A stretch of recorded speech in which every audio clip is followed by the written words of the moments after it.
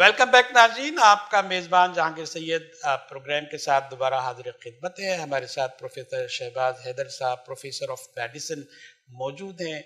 बड़े हवालों से बात हुई है और चूँकि हमारे प्रोग्राम का नाम भी सच है और सच के मैार पर पूरे उतरते हुए डॉक्टर साहब मौजूद हैं यहाँ तो ज़ाहिर है हमें ऐसे ही बात करनी है। तो डॉक्टर साहब, हम एक सवाल के साथ आप आते हैं कि इस कौम में बहसीत मुसलमान कह लें, मजहबी कह लें और समाजी खिदमत वाली कौम कह लें, ऐसी कौम है, इसमें ऐसी क्या खूबी है कि खुदा ने इस पर रहमत की, इसको बचाया। कुछ ऐसे हवाले दें ताकि समझ में आए, डॉक्टर से हटके भी तो आप इंसान है ना, आपके कोई बिलीव होंगे तो उस पर आप क्या समझते हैं बहसीत इंसान के, कि सब कुछ हो कैसे गया है? बिस्मिल्लाहिर्रहमानिर्रहीम। कुरान पाक में एक आयत है, अल्लाह वलीजीन आमनु, अल्लाह दोस्त है ईमान वालों का नूर और उन्हें निकालता है अंधेरों से रोशनी की तरफ़। और ये प्रोसेस हम कहते हैं, हम मुसलमान हैं, हम कैसे मुसलमान हैं? नहीं। जब अल्लाह ने कह दिया कि जो मुसलमान हो गया हम नहीं जानते कि हमारे अंदर मुसलसल एक प्रोसेस चलता रहता है जो हमें अंधेरों से निकाल के बेहतरी की तरफ़ लेके जाता रहता है। और इसी आयत का दूसरा हिस्सा है, जिसका मैं सिर्फ़ तर्जमा बताऊँगा कि जो काफिर हैं, उनके दो शयातीन हैं और वो उन्हें रोशनी से निकाल के अंधेरों की तरफ़ लेके जाते रहते हैं। वो एक प्रोसेस जारी रहता है। और पाकिस्तान, इंडिया के हवाले से ये पॉइंट बहुत बेहतर तरीके से मैं बताऊँगा कि जब 47 में हम दोनों चूँकि इकट्ठे रहे थे और हमारे असरात उन पे थे डोमिनेंट चूँकि हम वो डोमिनेंट थे उसके बाद कब्जा था बेशक अंग्रेज़ आ गए थे लेकिन सही। तो वो 47 के बाद हमारा सफ़र अलग अलग शुरू हो गया। सही। हम मुसलमान पहले से ज़्यादा अच्छे हैं इस बात को बहुत कम लोग रियलाइज़ करते हैं लोग कहते हैं पहले अच्छे थे नो हम इस्लामी लिहाज से मुगल दौर से बेहतर हैं हम इस्लामी लिहाज से अंग्रेज़ दौर से बेहतर हैं। और हिंदुओं का जो सफ़र शुरू हुआ है, वो हमसे दूरी का सफ़र शुरू हुआ है, वो अब एथीज़म की तरफ़ जा रहे हैं। मतलब कोई खुदा नहीं। बहुत से खुदाओं से पोलियथीज़म से एथीज़म की तरफ़ जा रहे हैं और वो ज़्यादा बुरे होते जा रहे हैं। और हमारे अंदर जो इस वक्त ये जो कोरोना को क्या हम संभाल सकते थे? नहीं। ये हमारा उस इस्लाम, अल्लाह ताला के नूर और रोशनी वाले मसले में जो हमारे जक़ात, खैरात, सदक़ात का जो मसला था कि हर एक ने आगे मदद की।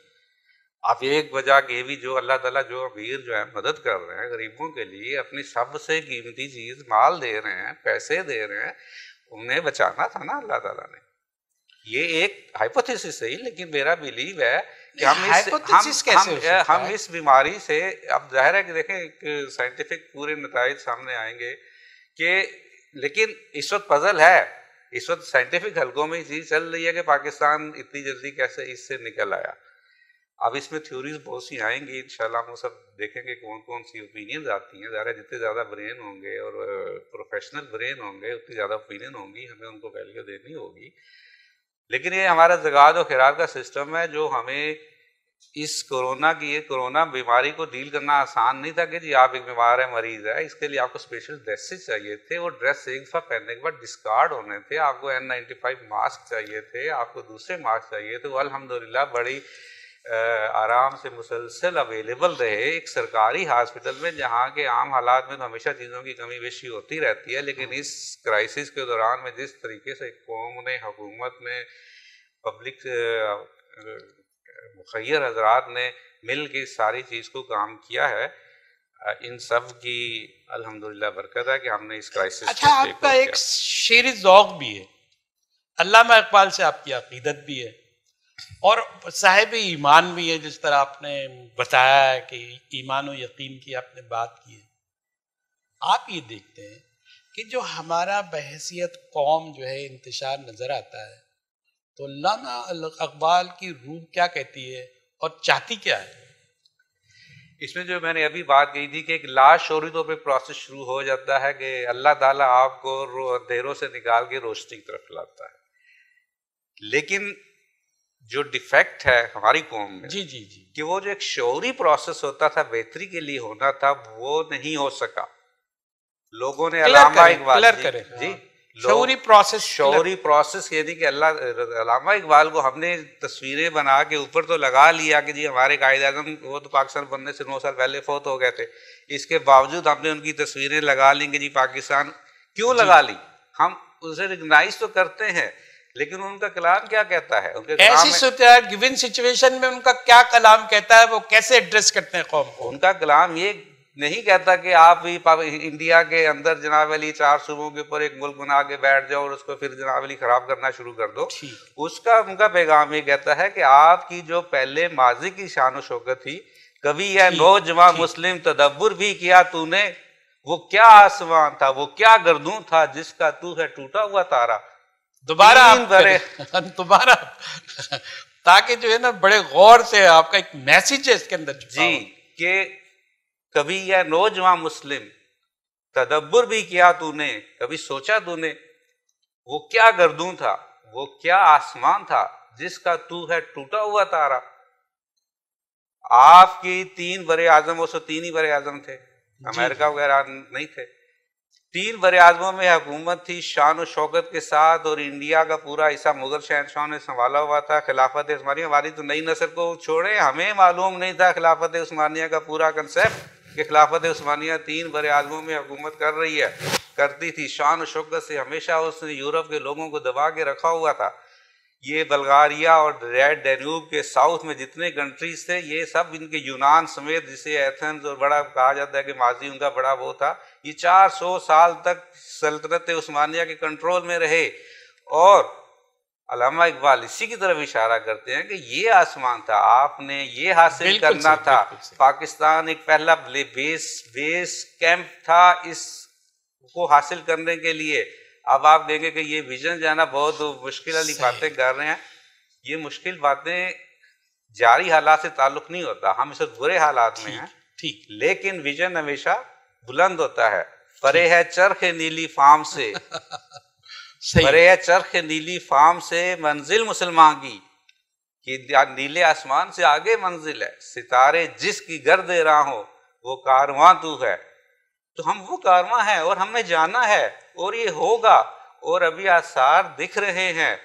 यूरोपीय वर्ल्ड कमज़ोर हो रहा है। आपको एक इम्पोर्टेंट पॉइंट बताऊँ कि वहाँ पे कम तरीन शराय पैदाइश की वजह से एक फर्टिलिटी रेट एक लफ्ज होता है जिसे 1.8 से कम हो जाए तो इसका मतलब है वो खुद कहते हैं कि वो डाइंग नेशन है। डाइंग नेशन का अच्छा, मतलब ये है कि जितने बंदे मर रहे हैं हाँ, हाँ। उनकी जगह लेने के लिए उतने बच्चे पैदा नहीं हो रहे। हाँ, खत्म तो वो ऐसा ऐसा खुलती जाएगी।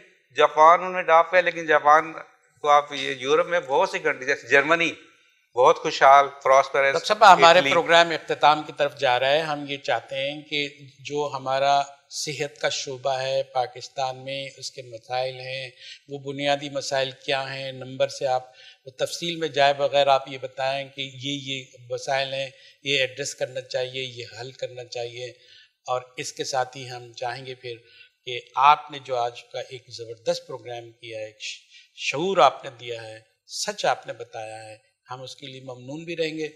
आप ये बताएँ कि हमारे शुबे सेहत के मसाइल बुनियादी क्या हैं और उसका हल आप क्या पेश करते हैं? और ये मुख्तसरा मुझे ये बात करनी है क्योंकि हमारा वक्त अख्ताम की तरफ़ जा रहा है। शोबा सेहत कोई जजीरा नहीं है कि हम सिर्फ़ उसी को ठीक कर सकें। शोबा सेहत पूरे पाकिस्तान के सिस्टम का एक हिस्सा है। और जितने भी हमारे साथ बेहतरीन ब्रेन कहाँ पे है, बेहतरीन ब्रेन हमारे दुनिया के हालात से वाकफ के लिहाज से जर्नलिस्ट जो हैं, सहाफ़ी जो हैं, कालम नगार जो हैं, वो बेहतरीन ब्रेन है, वो सब बता रहे हैं कि इस दावे का हवा बिगड़ा हुआ है। इस पूरे सिस्टम को ठीक करने के लिए हमें एक नया प्रोजेक्ट चाहिए, नई प्रोजेक्ट टीम चाहिए। वो प्रोजेक्ट टीम जो है ना, वो किस तरह बने, वो अलामा इकबाल के मकसद को लेकर चले, तीन सौ तेरह से लेकर दस हज़ार वाली सुन्नत के ऊपर चले और फिर हर मौजू के ऊपर थिंक टैंक बनाएँ आप, जिनमें से एक शोबा शोबा हेल्थ हो, और उसके बारे में तजावीज़ हों, और फिर उन तजावीज़ को नाफिज कराने के लिए कुत नाफजा पैदा करे, वो बढ़ी हुई ताकत और अफराधी कुत और एक गैर सियासी जमात से, सियासी सिस्टम फेल हो चुका, पाकिस्तान में बेहतरी देखें कि ये जुमला मोतरजा हो जाएगा और आप ये सवाल उठ जाएगा कि आप सियासी वो है, डेमोक्रेसी है, आप सिस्टम को चैलेंज कर रहे हैं आप चाहते क्या है? नहीं। ये आपका शोभा तो नहीं है। मैं इस पे क्लियर कर जी, जी। सियासी सिस्टम अपनी लाइन पे जैसे चल रहा है वो चलता रहे हमें उससे कोई वो नहीं है। वो अपनी रूटीन में जो बेहतर कर सकते हैं वो करते रहें। जिन डायनामिक्स पे वो चल रहा है वो चलता रहे। अच्छा अब हम आपसे चाहेंगे कि एक मौके से फ़ायदा उठाएँ आप मौजूद हैं। तो आप जो है एक छोटा सा मैसेज हमें दें ताकि हम इसकी रोशनी में देखें कि हमें करना क्या है। क्योंकि आप दो दो तीन जो है वो आपके सब्जेक्ट बड़े मज़बूत हैं। दीन का भी आपका है, आपका लिटरेरी भी ज़ौक है, आप मेडिसिन के प्रोफेसर भी हैं। आप क्या कहते हैं? यहाँ बैठ के दो बातें कर लें, कल साथ वाले स्टूडियो में कर लें, साथ वाले न्यूज़पेपर में लिख दें, किसी जलसे में कर दें, किसी जुलूस में कर दें, उन बातों से कुछ नहीं होगा। अगर बेहतरी करनी है तो आपको एक प्लेटफॉर्म बनाना है, तसलसल से। अमले पे हम, मुसलसल अमल। और अपने मकसद की पक्का यकीन यकीन मोहतम अमले पे हम मोहब्बत फाते आलम। जहाद जिंदगानी में है ये मर्दों की शमशीर। शमशीर। बहुत शुक्रिया नाज़रीन, जो आज हमारी गुफ्तु हमारे प्रोफेसर शहजाद हैदर साहब से हुई है। प्रोफेसर ऑफ़ मेडिसिन है और ट्रेन, ट्रेनिंग भी देते हैं, कंसल्टेंट तैयार करते हैं। ये सारी चीज़ें आपने सुनी। आपने ये बताने की कोशिश की है कि देखिए, अल्लाह की रहमत हमारे साथ है, उसका फजल है। बहसीत एक ईमानदार, ईमान के बिलीवर्स के जो हमारा इस्लाम बिलीवर है तो उसमें हमें, अल्लाह ताला ने ये रास्ता दिखाया है कि हम अंधेरों से निकल के रोशनी की तरफ़ आते हैं और ये अल्लाह की मदद से आते हैं। और इस पर हमें फ़ख्र करना चाहिए कि जो हम, और एक और भी है कि हम अतियात और खैरात देने वाली कौम में, अव्वलीन कौम है सबसे ज़्यादा जो है इंसानों का ख्याल रखने वाली है। और ये बुनियादी हमारे मज़हब का बुनियादी पैगाम और उसकी स्पिरिट भी यही है। और दूसरी बातें भी आपने बताई कि हमारे शोबे में क्या क्या मसाइल हैं क्या क्या चीज़ें हैं, ट्रेंडिंग में क्या कमी है। अभी एक और भी बातें हम दूसरे प्रोग्राम में करेंगे कि जो बाहर चले जाते हैं जो ड्रेन हो जाते हैं, बाहर जाते हैं, चाइना जा रहे हैं, वहाँ से ट्रेनिंग ले रहे हैं, अब वो जा रहे हैं, वहाँ उनका क्राइटेरिया अलग है एजुकेशन का सिस्टम अलग है, वो हमारे मैार पे पूरा नहीं उतरता, हमें दोबारा उसकी तरबियत करनी पड़ती है, और फिर हमें डबल मेहनत करनी पड़ती है, हमारे ज़र मुबादला भी जाता है, और यहाँ भी दोबारा हमें काम करना पड़ता है, ये सवाल भी अभी जवाब तलब है, हम प्रोग्राम में दोबारा डॉक्टर साहब को मदू करेंगे। दावत देंगे और इनसे सवाल रखेंगे। जो मज़ीद सवाल आप पूछना चाहते हैं, इस मौके से हम फ़ायदा उठाएँगे। डॉक्टर साहब, हम आपके बहुत मशहूर हैं कि बड़ी खुल के आपने बात की है और जो है रहनुमाई के तौर पे बात की है। जैसे लीडिंग पर्सनलिटी कायदाना शख्सियत को बात करनी चाहिए। आपने वैसी बात की है। हम आपके बहुत ममनून मशहूर हैं और हम आपसे दरख्वास्त करेंगे कि आपको हम फिर बुलाएँगे, फिर आपसे मुलाकात होगी, फिर बात तक होगी। इन ताला नाजिन इजाज़त दीजिए। अल्लाह हाफिज़।